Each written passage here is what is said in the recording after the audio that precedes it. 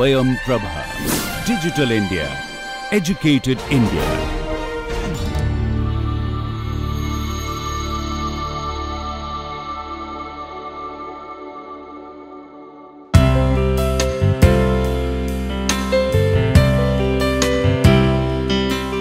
Welcome students to the on online NPTEL course Visual Communication Design for Digital Media.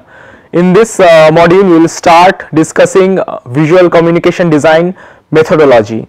So in this module we will start with the generic design methodology which can be uh, applied throughout the different uh, different uh, visual um, uh, new media paradigms but uh, there are um, as there are different uh, media paradigms for example graphic design packaging design, branding, visuals of web design and animation or game design. Uh, each and every design process has its unique uh, methodology which we will discuss in the uh, from the next uh, uh, module onwards uh, later. But here we are discussing a generic design methodology which we follow in today's time. So uh, the uh, most uh, many of the uh, from the ma- uh, many generic uh, methodology which we uh, will discuss uh, in this uh, module uh, might be added uh, in some um, uh, design uh, platforms, some design uh, paradigms, and in uh, might be um, uh, some other uh, process might be added, and some process might uh, be omitted from this generic uh, design methodology. But uh, we will get a holistic uh, view of the methodology, and we will start taking each and every uh, design field like graphic design, branding, uh, visual um, of web, uh, games and animations and we will discuss the methodology later on in the detailed fashion. So in generic uh, design methodology uh, mainly it is uh, based on web and um, visual communication design of uh, graphics and uh, because animation and uh, game design is bit different from the field we will discuss it later. So generic design methodology which we um will mainly follow in web design and graphic design and uh, also in branding. So this uh, process initially there was a model which is uh, called waterfall model. Uh, so there was a gradual progression of one step to the other step. So first there will be data um, um, data gatheration, then there will be a design um, ideation, then design process, and then the final production or um, final design. So that was the waterfall model. So uh, in uh, when the one stage is complete, the next stage starts and from the next stage the step 1 the previous stage uh, we cannot go back to the previous stage. So there is a gradual linear progression in the waterfall model.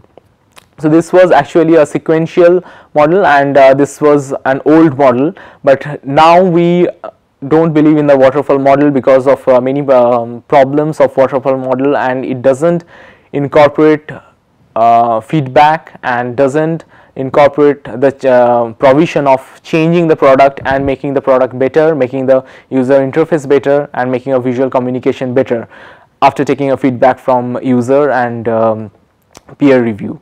So uh, the next a better model which evolved later after waterfall model is iterative model. So there is a loop from concept generation to design development. We go back to the user, we test the um, talk uh, talk to them and understand the uh, the feedback, understand their uh, take their uh, feedback from ethnographic data collection, heuristic evaluation, and then we again uh, analyze our product and uh, product or design and then we iterate the design or discard the design if the design is absolutely not acceptable. Then we discard the design and start new um, and then again go back to the user and iterate and then the final design comes but when the final design comes it's a user proof uh, and user centric design so acceptability of the final design is much higher than the if uh, uh, we follow the water uh, if we follow the iterative model rather than um, waterfall model. So we discuss uh, waterfall model. So waterfall model is first described by Herbert Benington uh, at a symposium in um, of web design uh, software development. So here he said in software development first we uh, gather the data, de- uh, design the software, develop and then uh, um, launch. But uh, Winston Royce said that this model is flawed and this model does not work in many of the cases because it does not involve the scope of iteration. So, this is the typical waterfall model. So, first we uh, talk about the requirement, then we start designing, then impl um, implementation uh, happens and then we verify, but after verification uh, we do not go back to the design and do not uh, change the design or start implementing the, the new concepts, but we just after verification maintenance or the launch of the software happens. So, that is the waterfall traditional waterfall model. But when we talk about the iterative model, uh, the iterative model is like that. So, start then we find out the requirement, we design, we start implementing and also we test, test with the user and then we take uh, the user's review and the based on the review we generate requirement again and we uh, validate the, our design based on our requirement. So, this loop again feeds the requirement again, uh, again and we start evaluating our design. And after the uh, design evaluation, if the design works properly, we then uh, start implementing and then it com uh, it's complete. But if we need some uh, tweaking or iterations in the design, then we again uh, change the design, implement and then test with the user. If the review is right, we then uh, finish the design and launch the uh, product or website or graphics or whatever. We uh, finish the design there. But if it is not again we um, go in the do loop and that's why uh, more we uh, circle in the uh, do, this loop the better the product um, usability is. So facilities of this design is to improve it through feed, feedback of several loops and uh, the process is done through ethnographic survey and heuristic evaluation. Ethnographic survey is ethno means people and ethnography means the people's behavior in an environment. So, people's behavior in a digital platform is an ethnographic sur uh, survey in terms of uh, um, new media design and um, heuristic evaluation is as we already discussed is heuristic means uh, the people how, how, the people behave with uh, environment. So, in, uh, in this uh, case it is um, um, people's behavior with a digital platform is a heuristic evaluation method which um, designers follow. So, this actually leads to, uh, to the provision of uh, inductive methodology and uh, which is user centering and again based of ethnography and um, ethnography and um, heuristic evaluation. So, ethnography comes first and the design hypothesis goes uh, comes uh, at the last that is the process of inductive methodology in design. So, we start with the users uh, we uh, we go um, go and find out what the users need is then we try to understand the pattern what if there is a pattern in the um, users need. So, from that pattern we come to a hypothesis whether uh, this is the particular need of the user. And based on that we generate a theory and that is uh, in terms of theoretical research. But in terms of uh, practical projects also we generate uh, a project from an hypothesis which we take from user. But uh, this this is an inductive uh, design methodology. It, the opposite is deductive design methodology. So in design deductive design methodology we start with a theory so, the theory comes first.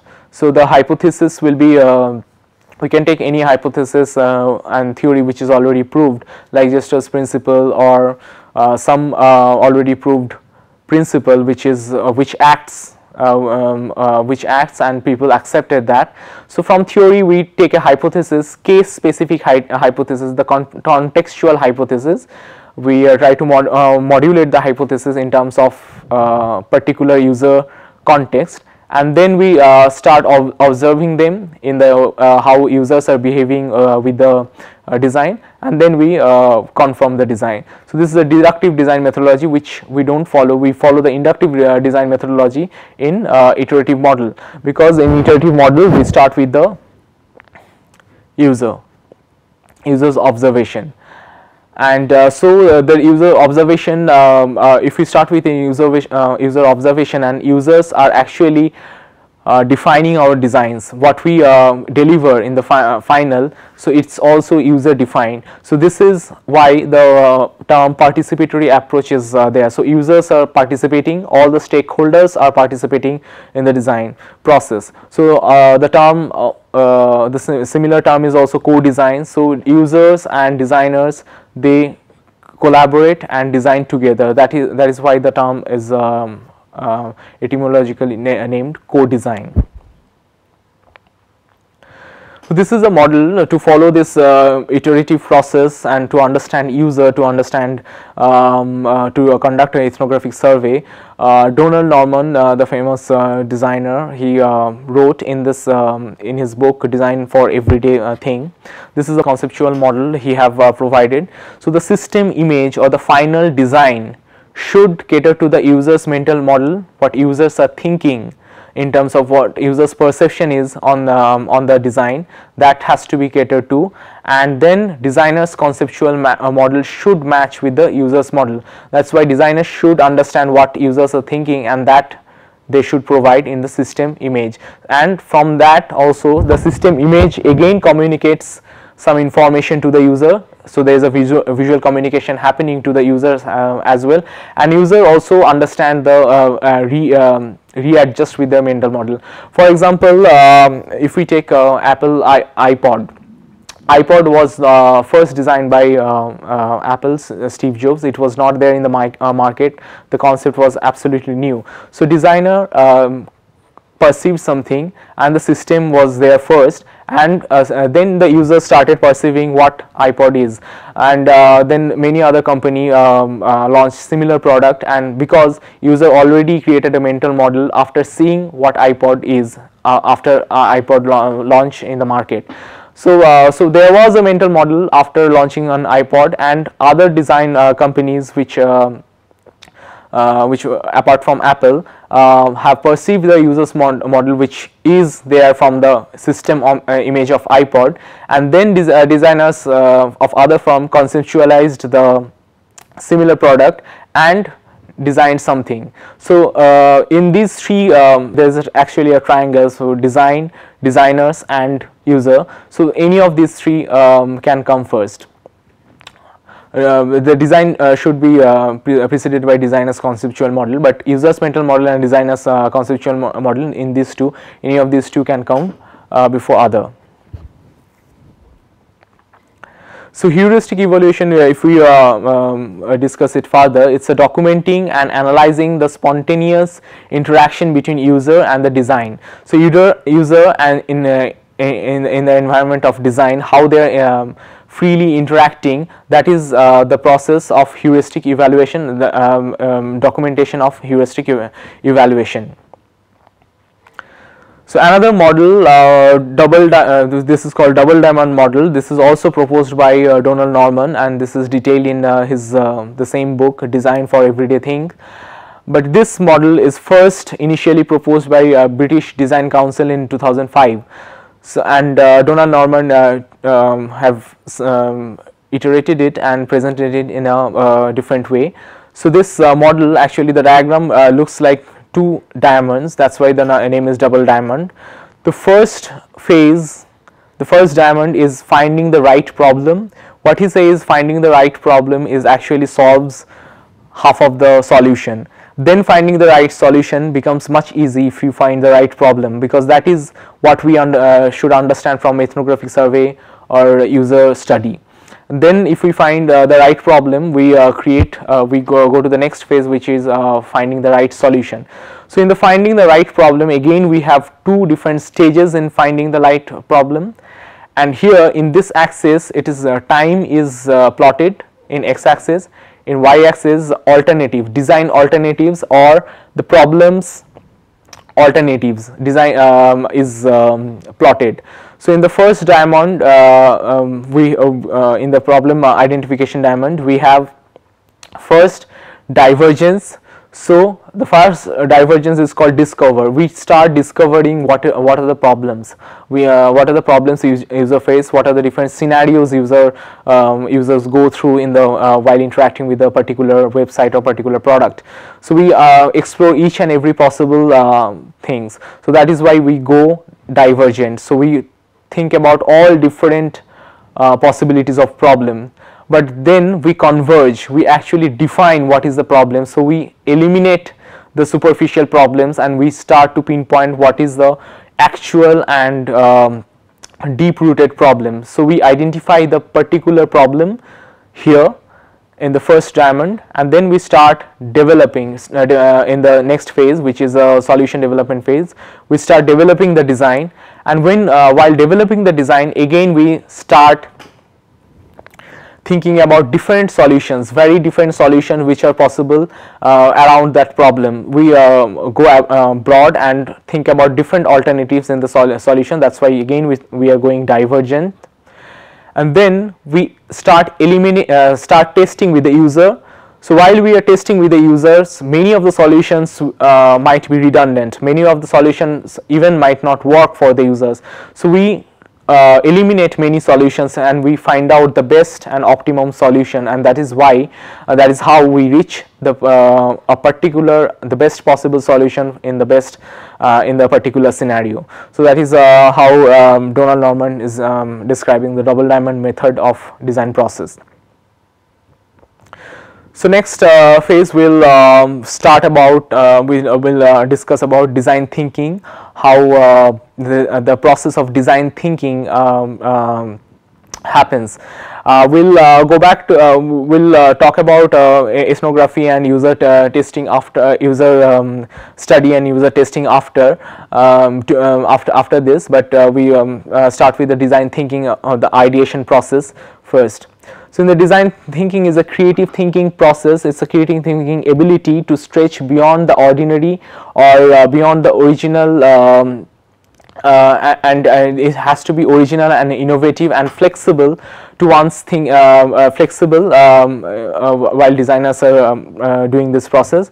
For example, creating a um, mnemonic device which is a um, uh, which is a, a aid to mem memorize thing is one way of thinking creatively. So, connecting unrelated things uh, with a single visual is also a process of design thinking. So, in uh, the design thinking can be of uh, different uh, ways. Um, uh, it can be associative, it can be meta metaphorical, it can be elaboration of one particular idea and it can be imaginative and we go into a different dimension in imaginative thinking.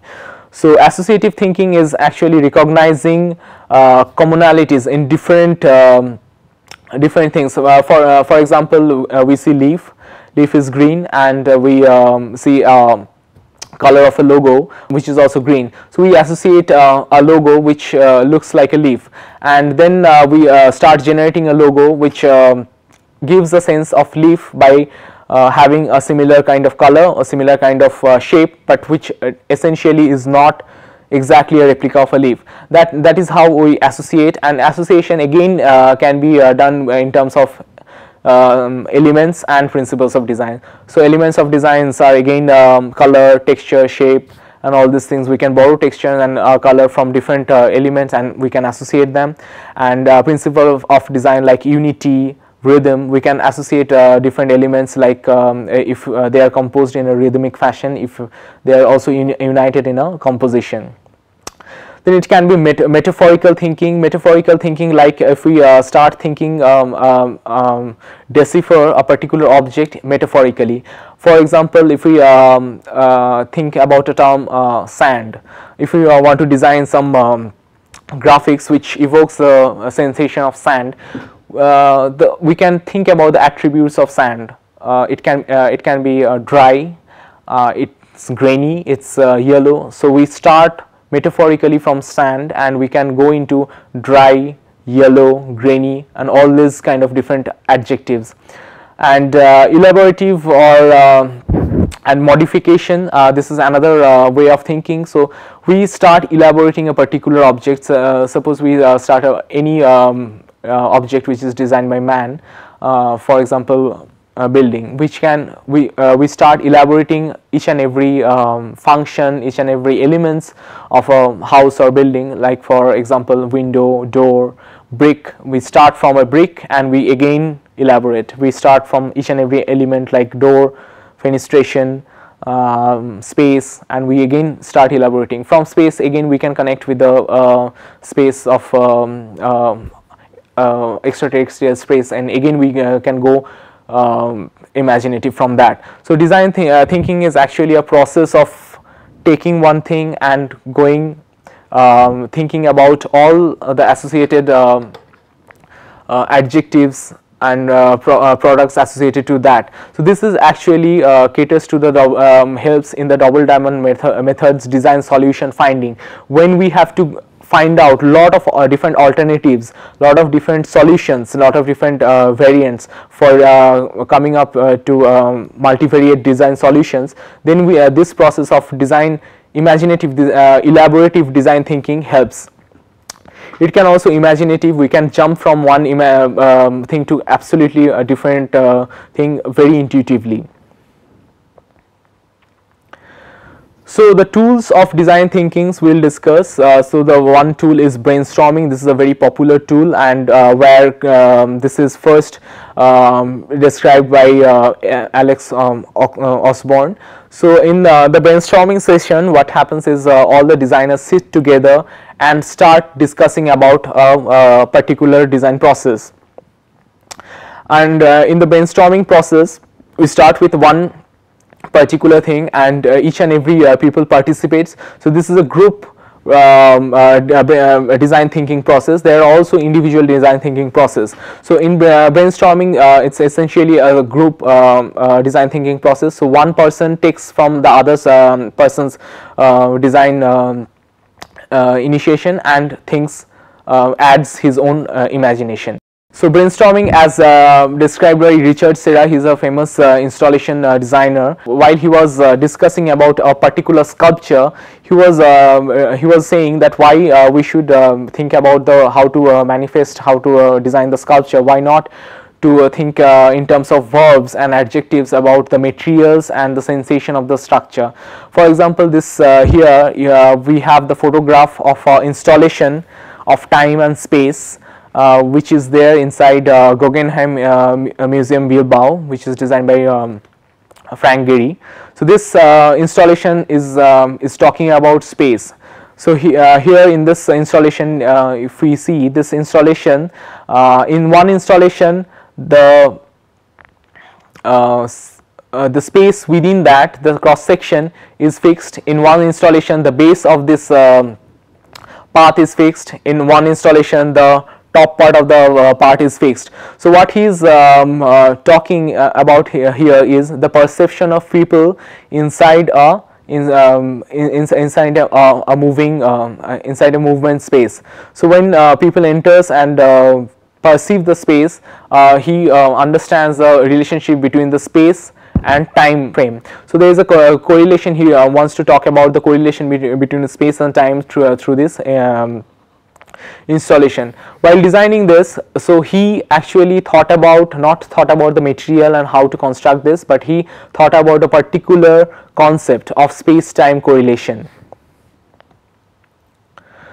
So the thumbs uh, thumb rules from uh, brainstorming is include every possible uh, adjective, every possible uh, products which comes around this and never judge an idea because we will judge the idea after uh, when we uh, uh, discuss uh, with the users and uh, take users feedback then we start um, evaluating each and every alternative and users feedback can give a, a, different dimension in the um, possible alternatives.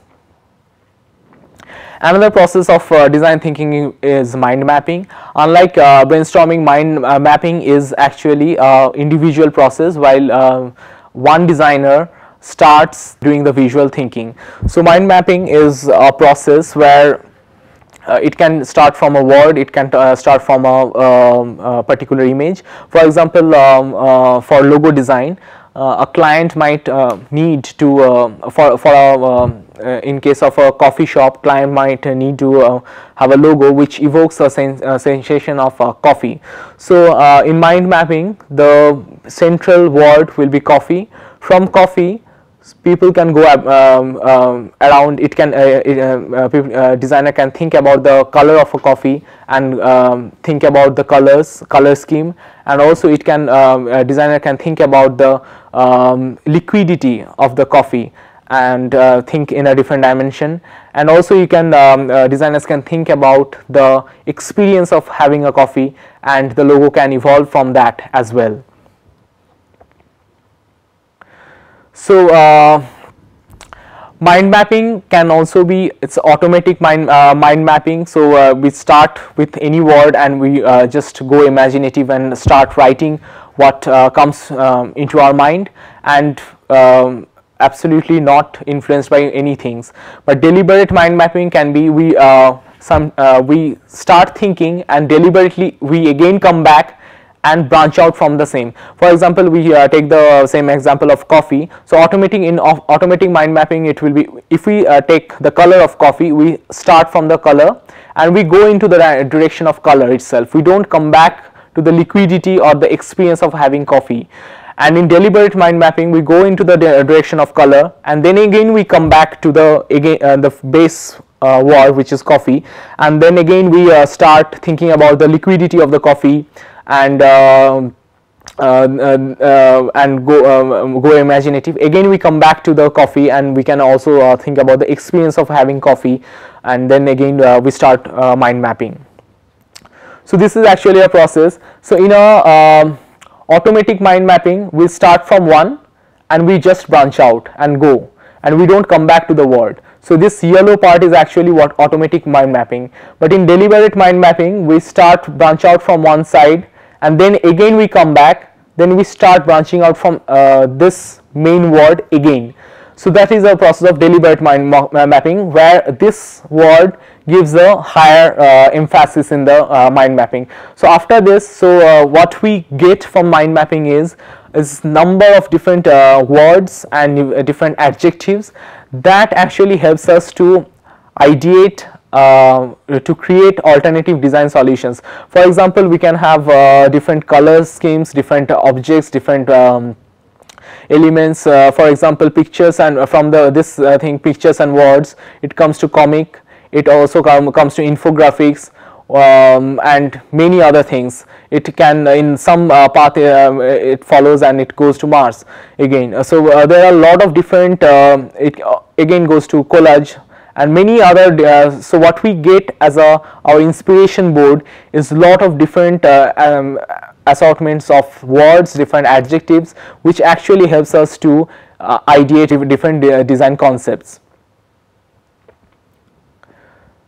So in the next class we will discuss about uh, the uh, phases of uh, visual design process uh, which are uh, orientation, analysis, concept design and implement, uh, implementation.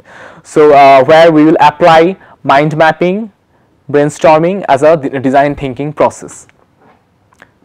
Thank you.